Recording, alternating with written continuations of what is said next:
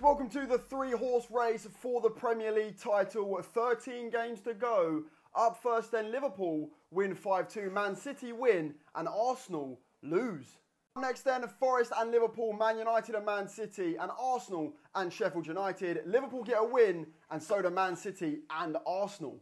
So up next, then the title challengers do meet Liverpool, Man City. Arsenal play Brentford at home, and it's a draw between Man City and Liverpool, and Arsenal lose again. Next then, Liverpool have Everton, Arsenal have Chelsea, and Man City have Brighton then. It's going to be a win for Liverpool, a win for Man City, and a win for Arsenal. Next then, Liverpool face Brighton at home, and Man City are at home to Arsenal, and it is going to be Arsenal who are the big winners this weekend, beating Man City, and Liverpool drop points.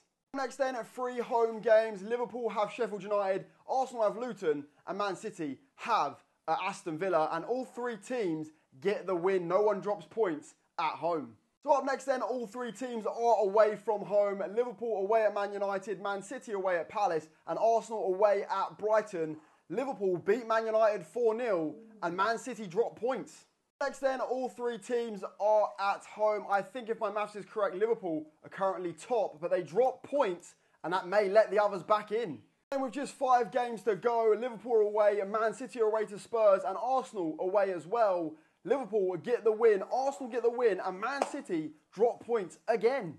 Then all three teams are away from home again. Arsenal have a big game away at Spurs. Liverpool lose 2 0. Arsenal beat Spurs and Man City drop points. It's a perfect weekend for Arsenal. This, this is getting tight.